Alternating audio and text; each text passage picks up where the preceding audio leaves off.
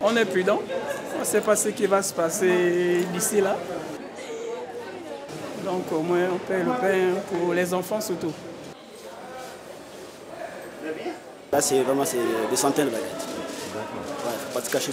Ils ont peur, ils ont peur.